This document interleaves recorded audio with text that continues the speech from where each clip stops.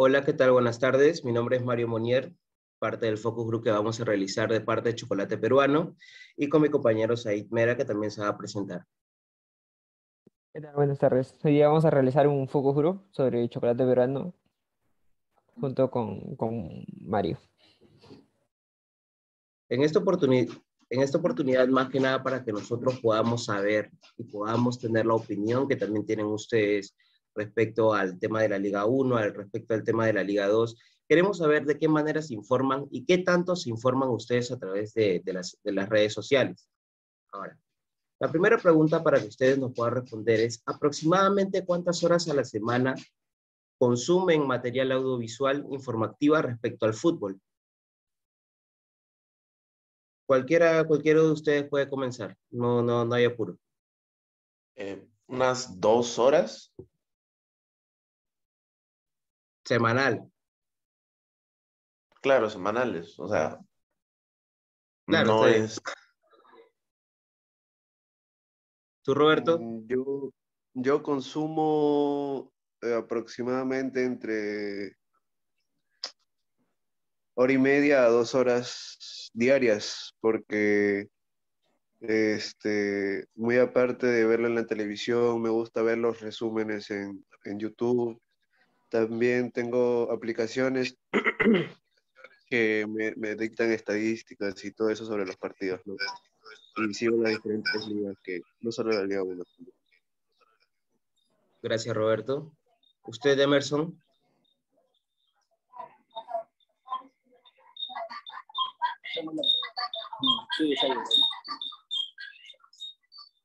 Hola. ¿Escucha? Mm, Sí, sí, sí, sí, le escucho, Sí, se Emerson. te escucha.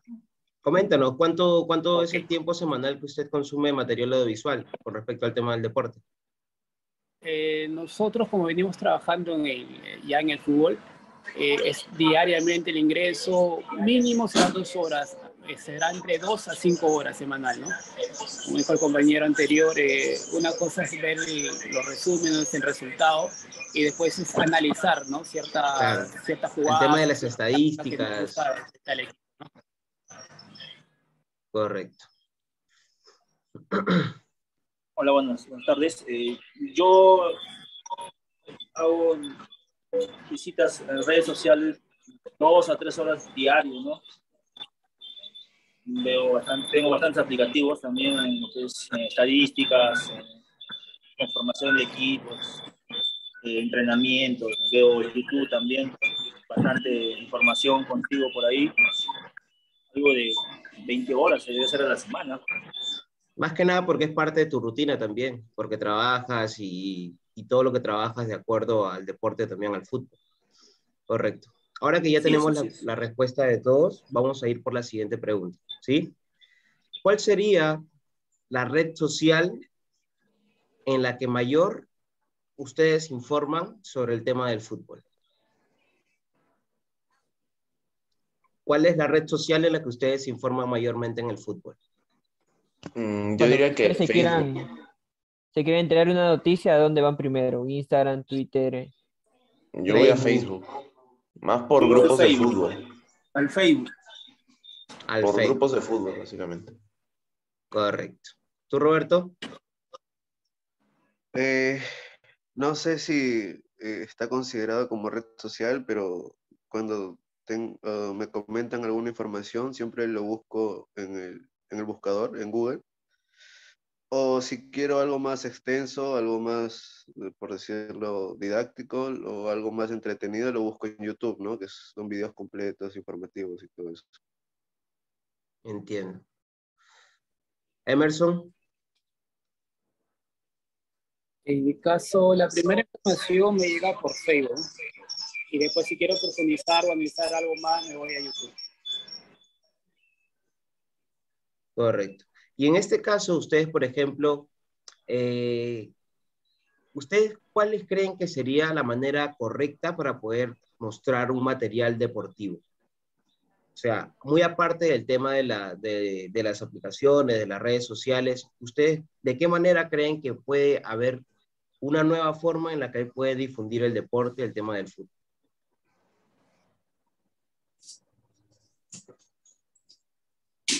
Sea, ¿cómo te parecería a ti que debería ser la forma correcta de crear un, depor- un, un contenido deportivo? Ah, primero la planificación. ¿Y cómo lo harías? Ahí, eh, bueno, yo uso bastante mis cuadernillos, ¿no? Eh, a veces la tablet. Bastante, le doy bastante énfa- énfasis en ese tema de, de la planificación, al, al contenido del trabajo de la semana, ¿no? Yo, yo creo, yo creo y considero algo, algo que jalaría mucho público este, para ver su contenido podría ser este, los pronósticos, que no todas las páginas eh, lo realizan, ¿no? Pueden pronosticar eh, tipo los goles, eh, o qué jugador va a anotar, o qué equipo tiene más chances de, de ganar o de empatar, etcétera, ¿no? Entonces eso sería como un plus eh, a comparación con las demás páginas. Claro, podría ser algo más interactivo, se podría decir. Por ejemplo, en nuestro caso, que nosotros tenemos una página en Instagram que es Chocolate Peruano, eh, es, creo yo que, bueno, nosotros creemos que es importante que también nos ayudaría mucho asociarnos con una casa de, de apuestas, ya que las publicaciones que nosotros realicemos también eso nos va a traer muchísimo más público y vamos a ser muchísimo más interactivos con las personas que nos siguen a través de la página. Ahora, vamos por la siguiente pregunta. ¿sí? ¿Cuál es la primera fuente de información deportiva que recuerdas? No solamente en redes sociales, puede ser periódico, televisivo, radio. Bueno, en nuestro caso, en mi caso, que ya estoy pasando los 30 años, tengo 36, eh, la primera información era antes por radio, ¿no? La Copa Libertadores era por radio. No había manera de, de poder ver eh, el resumen partido, al menos que llegue el domingo. Ya televisión y en tercero ya se internet. Muy bien, Emerson. Sí, diarios, igual la radio, ¿no? Yo tengo 41 años. Yo en esos, en esos tiempos era el periódico, las revistas, y ahí el- la televisión y la radio, ¿no? Material escrito también. La televisión y los periódicos. La televisión y los televisión y los periódicos. Claro, por ejemplo, cuando te vas a comprar pan y ves el kiosco, te pones a leer un rato el periódico como que esperando. Y ahí Ahora. ves los titulares. Periódicos colgados. Exacto. ¿Tú, Roberto? Eh, sí, la, la que más recuerdo de mi niñez eh, creo que es este, la televisión más que todo en los siempre al final de los de los noticieros siempre daban su parte de, deportiva, ¿no? Y también en los periódicos, ¿no? Que sabían sus dos, tres páginas que era todo deporte.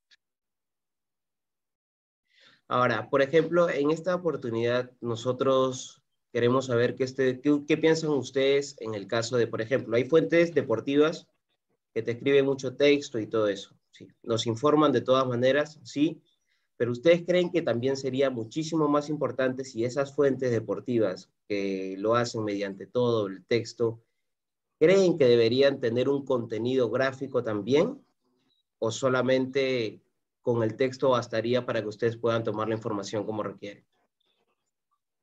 Claro, yo preferiría leer más que artículos, infografías. Son más didácticas y te presentan la información mucho más concisa y resumida.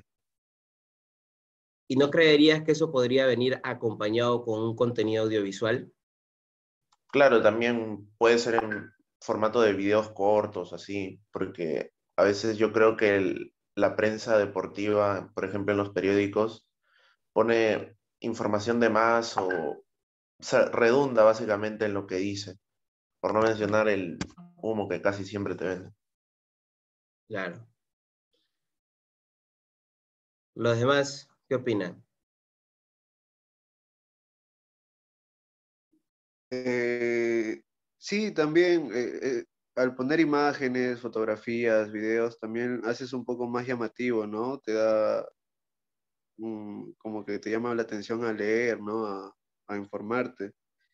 Y más aún si, no sé, pones alguna información sobre algún gol, alguna falta, alguna lesión, ¿no? Y, y pones el video de cómo pasó, ¿no? ¿Qué, qué fue lo que pasó? Un resumen del partido, yo creo que sería mejor, ¿no? Para a, que sean puras letras, entonces no, no llama la atención mucho estar leyendo.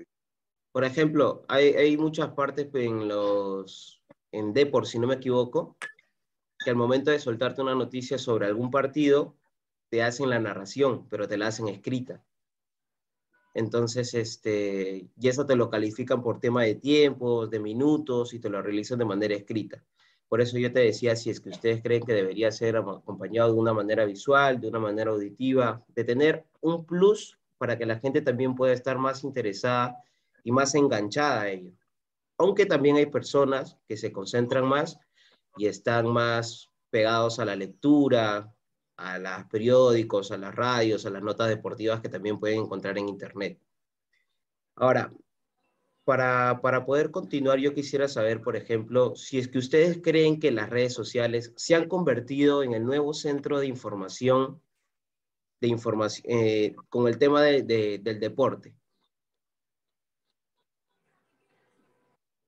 Yo creo pues, que sí, ¿no? Eh, se ha vuelto muy importante ese tema. Ahora, la importancia que, nosotros le damos a esto es mayormente la gente que ya entiende, que capta, podría decir, usar el móvil, usar la laptop de manera normal, saber el, el, uso que nosotros le podemos dar. Pero las personas, por ejemplo, mayor a 40 años, ellos también estarían aptos para poder, se podría considerar dentro de ese conjunto que ya sabe utilizar más, estas aplicaciones o las redes sociales para poderse informar. No, claro que sí, claro que sí. Solo es tema de capacitación, de capacitarse, ¿no? Y, y tratar de aprender cada vez más en, este tema de las aplicaciones, de las redes sociales. Más claro ejemplo ha sido la pandemia que hemos vivido, pues, ¿no? Ese también ha ayudado mucho. Muchísimo, muchísimo. Había, hay personas que son renuentes a la tecnología pero dada la pandemia tenían de alguna manera de comunicarse con la familia o llevar cursos, qué sé yo, y tuvieron que aprender sobre la marcha. Emerson, creo que se escucha un poco raro del, del audio. Ahí, ¿Me escuchas? Sí, se escuchaba como un pitido, creo. Sí, está mejor. A ver, ahora. Ahora sí está mejor ya. Ya. Se decía que debido a la pandemia había personas que eran renuentes a la tecnología, ¿verdad? Pero dado el hecho que ellos querían comunicarse con la familia o algunos, en nuestro caso, como iba a cursos, eh, han tenido que sobre la marcha aprender sobre la tecnología y se ha vuelto muy necesario y yo creo que esto va a seguir para adelante, ¿no? también ha avanzado mucho más rápido que lo que la gente pensaba, ¿no? Ha sido una adaptación eh, sí o sí. Correcto, Emerson. Claro, aparte que la información sale mucho más rápido, pues que esperarse a leer el titular de mañana en el periódico o esperarse a las... Es más, te llegan notificaciones. Claro, es mucho más rápido. Esperar a la noche con, los noticieros que, que dan en televisión. Exacto. Ahora, por ejemplo, algo también que yo quería comentarles era, ¿a ustedes qué les parece, qué les, qué les parecería mejor? Tener un programa deportivo solamente del fútbol peruano o del fútbol en global a nivel mundial. Por ejemplo, de la, de la Copa de, la Liga de España, eh, hablar también de la UEFA Champions, cosas internacionales, no solamente netamente el fútbol de la Liga 1 y de la Liga 2 del, de, de Perú. Porque normalmente sabemos que aquí en Perú, las personas que vemos los partidos es porque vemos a nuestro equipo. Ahora, si es que no es un partido que no es de nuestro equipo, no lo visualizamos. Pero si es un Barcelona, Real Madrid, un Bayern Múnich, un Borussia, cosas que tampoco, o sea, nosotros no nos sentimos tan identificados, pero nos interesa también por la calidad de fútbol que nos ofrecen. ¿Ustedes estarían de acuerdo en que sea solamente fútbol peruano o que, que sea fútbol internacional? Debería ser en general el fútbol mundial, ¿no? El fútbol mundial debe ser en general. Es claro, yo, también de, de, muchos países. Yo, yo considero también que, o sea, como tú mismo dices, Mario, eh, quizás uno solamente consume consume la información de los clubes más populares aquí en Perú, ¿no? Como la U, Cristal, Alianza, ¿no?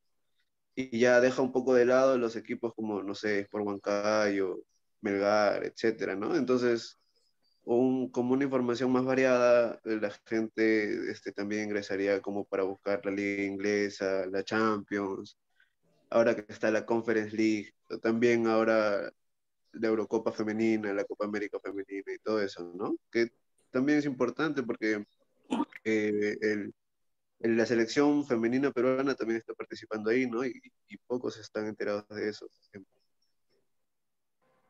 Muy bien, Roberto. Claro, también aparte de, como, como mencionaba Roberto, de hablar de los grandes, también se podría variar un poquito con equipos de provincia, algo de Copa Perú, y obviamente también con noticias de los clubes más importantes del mundo. No, claro, yo lo decía más que nada porque si, si nosotros hacemos información de la Liga 1, de la Liga 2, de la Copa Perú, y capaz también se podría hacer de las ligas departamentales que existen aquí en Perú, eh, quizás a ustedes como seguidores de una página se aglomerarían de información. Entonces, si nosotros le sumamos algo más que vendría a ser el fútbol internacional, que vendría a ser bastante información también, hasta más que la de Perú. Entonces, eh, no sé si sería cómodo para ustedes que sean muchísimas cosas de las cuales quizás la información que ustedes quieren perder, que ustedes quieren buscar, se, pierda. Entonces, a eso es lo que yo iba con, con la pregunta que realizaba. No sé qué, qué, qué, qué opinan ustedes. Bueno, por ejemplo, ahorita en Europa están más con partidos amistosos porque todavía empiezan las temporadas o también están de gira. Ahí se podría aprovechar como para mencionar cositas más nacionales y ya luego cuando regrese Champions, cuando regrese la Premier, ir con todo al fútbol internacional, pues. Porque ahorita creo que lo que más, más que los amistosos suenan los fichajes en realidad. Depende también mucho cuál es tu, tu objetivo, ¿no? Qué es lo que quieres lograr con tu página. Si lo ves por el lado comercial, obviamente te conviene más lo que es la Liga 1, los equipos más grandes, o el equipo más representativo del exterior. Si tu objetivo es más, no sé, de enseñanza o de repente comparar qué es lo que pasa en otros, en otros países, te diría más de, de seguir otras ligas, ¿no? De, hasta intermedia, se puede decir, Liga 2. Es muy distinto la realidad de otros países con, con nuestro país, ¿no? por eso que nos quedamos mucho solamente en el ámbito local y después criticamos a la selección porque en verdad no sabemos cómo trabajan otros países. Y sería una manera de poder comparar, no, no solamente criticar, sino ver desde el fondo eh, por, qué, este, por, qué, estamos desarrollando de una manera. ¿no? Me tocó estar el, año pasado, hace dos años en Paraguay, estuve en la Liga, perdón, en la Copa Libertadores Femenina, y muchos criticaban que Alianza, por ejemplo, perdió 2-0 con Atlético Nacional y muchos criticaron a la chica porque perdieron, que la liga está mal, pero nadie dijo de que en Paraguay hace mucho calor y las chicas de Colombia estaban mucho más acá al calor. Entonces, esas cositas nos hacen ver la, la realidad de, distintas de distintos países. ¿no? Tampoco, o sea, no solamente es un tema de, de, del tema del clima, que es muy importante, aunque muchas personas no, no lo vean y solamente juzguen, también el tema de los campos aquí en Perú es totalmente distinto a los campos que hay en el extranjero. O sea, como lo dijo Gareca también en, en una conferencia, qué es lo que necesitábamos, que quería también ser parte de, estar más cerca de la división de menores y todo, pero lamentablemente no se pudo renovar, ¿no? Eh, más que nada yo creo que es por un tema de mala administración y nosotros subiríamos información, sí, internacional, pero creo que la comparativa sería algo personal, por las personas, cada, cada persona que lo ven, porque más que nada nosotros lo subimos por un tema de informar, de que cada persona quiere, quiere saber algo y si no quiere saber algo, bueno, va a haber algo que le va a interesar y lo va a buscar y va a estar más, más pendiente de ello. Y es por eso que nosotros también este, queremos crear esta página más que nada con un tema de son de informar, ser más interactivos tampoco. Informar, en algún momento de, excedernos, te va a aburrir. Ser más interactivos, como te comenté hace un momento, eh, poder asociarnos con una casa de apuestas también, realizar sorteos, y para obtener un fondo económico, por ejemplo, podemos obtener rifas a través de, la, de sorteando camisetas deportivas, por ejemplo, de algunos clubes, de los clubes populares y todo eso que también nos pueden ayudar. Más que nada por ese motivo. sorteos, trivias, encuestas y ahí de alguna otra forma premiar a nuestros seguidores que prácticamente están ahí todos los días apoyándonos también. Eso lo va a tener también más pendientes y van a tenerlo, y nosotros lo vamos a sentir más cerca también. Es por eso que, nosotros les preguntamos este tipo de preguntas, para que también nosotros podamos saber qué podemos hacer y qué no podemos hacer. Por ejemplo, ustedes también, cada uno tiene un concepto y, eso a nosotros nos ayuda por la variedad de público que nosotros vamos a tener como seguidores.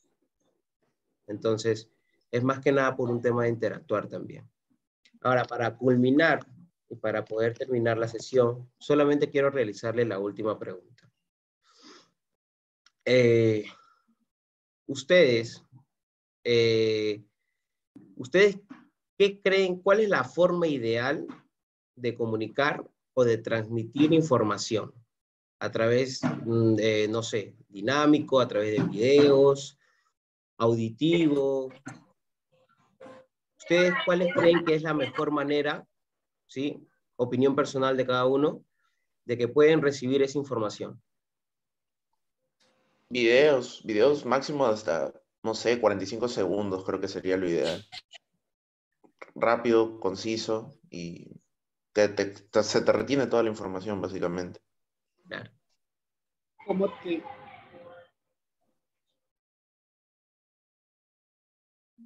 Claro, yo también coincido con él, ¿no? El material audiovisual creo que es el, es el, el, el- preferido, ¿no? De todos, más que todo el- que la lectura, ¿no? Entonces es más entretenido y aparte de, vas viendo lo que te van contando, ¿no? Como ya antes había mencionado, una lesión o algún gol, un resultado, ¿no? Creo que el material audiovisual es el, en mi opinión, es el mejor, ¿no? Es el que elegiría.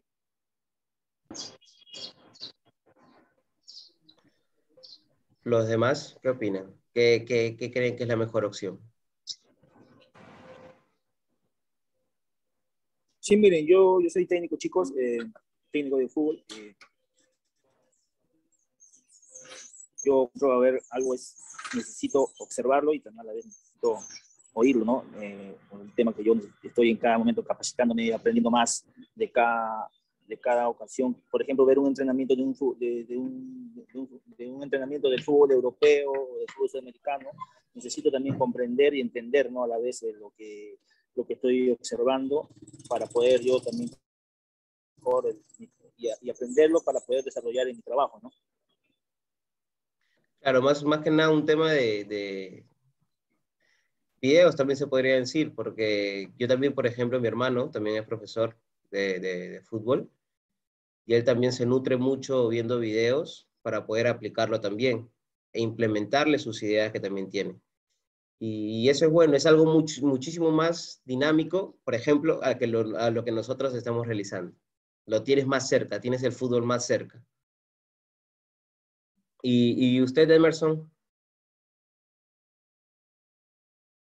Información vas a encontrar, de- nuevamente repito, por el público objetivo, ¿no? Ahora, eh, encontrar un montón, pero hay que saber también, saber qué información vas a recoger, de quién vas a recoger. Eh, porque hay muchos videos subidos en YouTube que, no solamente en el ámbito de fútbol, en otro ámbito, que están mal informando.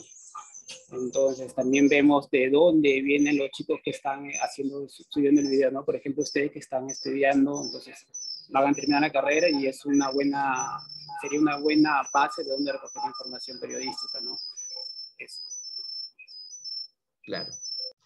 Mira, ahora que ya podemos obtener la respuesta de todos, muchísimas gracias Diego, muchísimas gracias Roberto, muchísimas gracias Emerson y muchísimas gracias también al, al profesor, eh, que nos dejan muchísima información para que nosotros también podamos tenerlo en cuenta, para que nosotros también podamos mejorar más adelante nuestra página social y para que también quizás podamos ser más dinámicos y saber qué información prefiere rescatar las personas. De todas maneras, les agradezco mucho por su tiempo, ¿sí? Y espero que, que tengan muy buen día, muy buena semana también para todos. Muchísimas gracias.